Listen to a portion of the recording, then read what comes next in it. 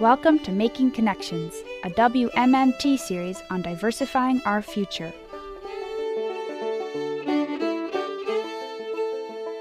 Hey Peyton, Yes. say a few words just so he can hear you. A few words. Oh no. say more than a few words. More than a few words. And much more.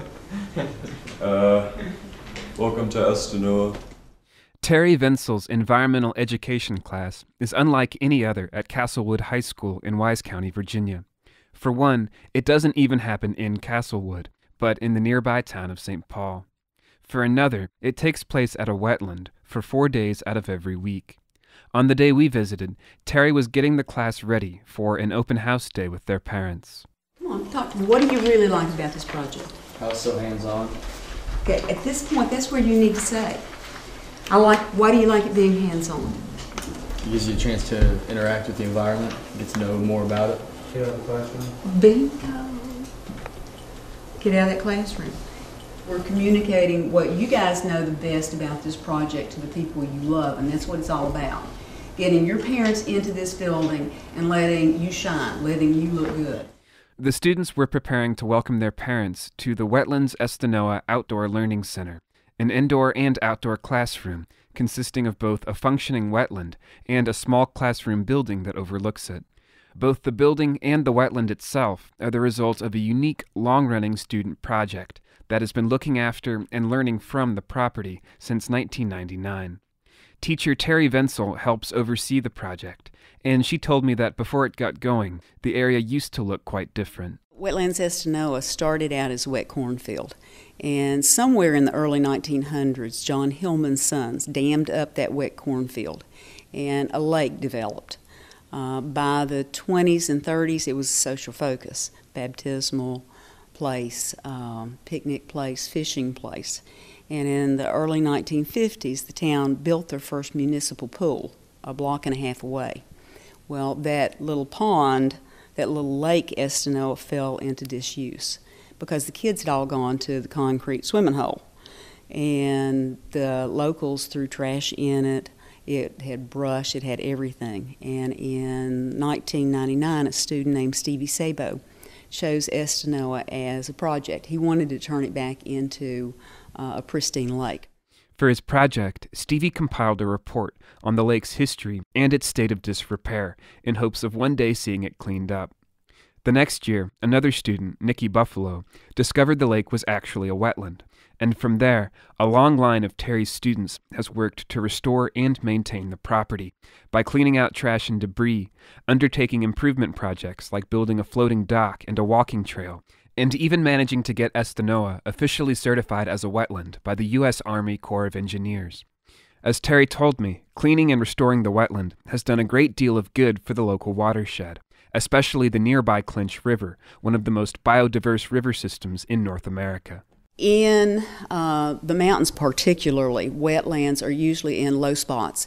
So as water comes down, it sits in Estonoa. The particulate matter, the dirt, the oil, the whatever, settles into Estonoa, and the water then percolates to the Clinch River cleaner and uh, a lot healthier than if it ran ori- straight off from the land into the river. So she definitely is a liver for the river. But the project has not just improved water quality. Especially since the Learning Center was built on site in 2005, Estonoa has served as a rich, interactive outdoor classroom for the students who pass through Terry's class each year, which is now also a dual enrollment course with a local college. Terry's students have undertaken studies of endangered mussels with the Department of Game and Inland Fisheries. They've monitored water quality for NASA, and they've engaged in countless other projects. Terry told me that learning outside like this is a powerful force for students. It opens up the possibilities to kids about all the senses. You feel the rain, you feel the wind, but you also hear that bird, and you also see the leaves falling or whatever it is. So it opens up every sense for a child instead of sitting in a classroom. And if a teacher is in a lecture situation, all the kid does is hear the lecture. Or if the teacher is a worksheet teacher, then all that kid knows is pushing that pencil. And it cuts down, it shuts down some of the uh, ability to learn with kids. I think kids learn outside. I really do, much quicker. Because of the unique environment and learning opportunities there, Terry said that coming to Estonoa has had a wide range of positive effects on her students. They come to school more. They come to school more because they look forward to the last class of the day. And they've told me over and over again if we've had a horrible day, and they say a little bit different, but if we have a horrible day, we always think toward last period because we're coming to Estonoa. And I see the biggest difference in kids once they get down here. It's like the feathers smooth down, the voices calm down. They're not near as irritable. They're more understanding. Kind of like We, gas we really do a disservice Like to kids smell of gas keeping them inside a building. We're not supposed to be stuck inside all day. Why not? Because we're humans. We're not supposed to be inside all day. It's our, it's our, I don't know, in our genes. We're not supposed to be inside beings. Plus, we're inside We all have- day. We have been outside beings for like ever. Everything has been more inside based because people are getting more, technical.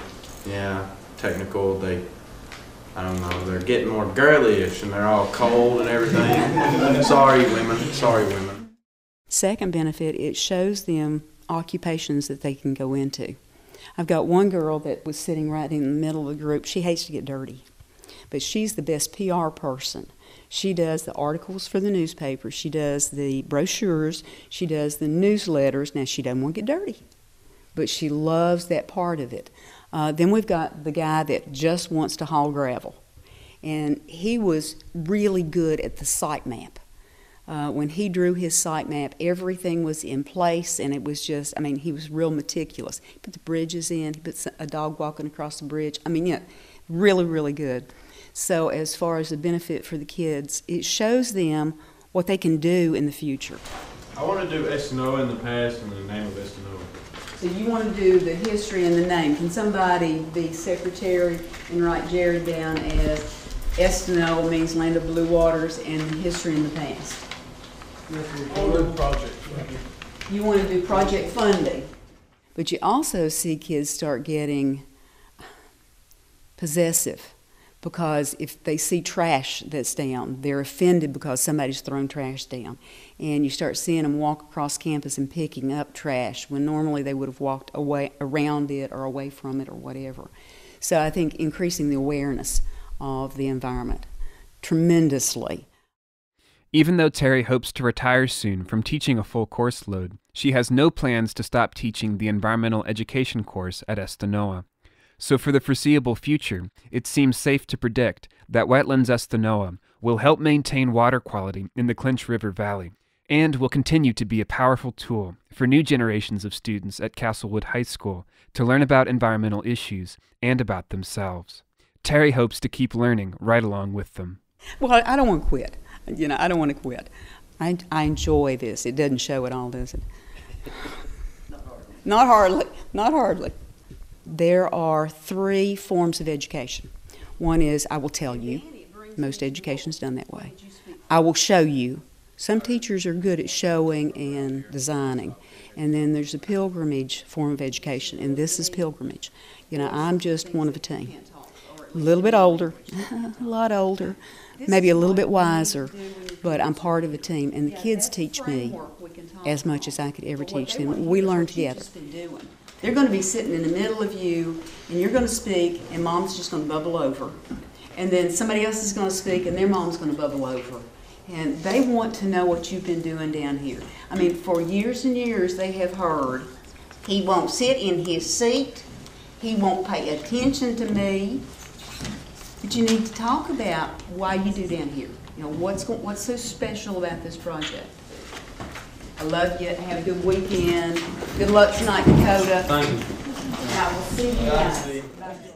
For more information about this project, you can visit wetlandsestonoa.org, and Estonoa is spelled E S T O N O A. Reporting for WMMT and with Rich Kirby, I'm Parker Hobson.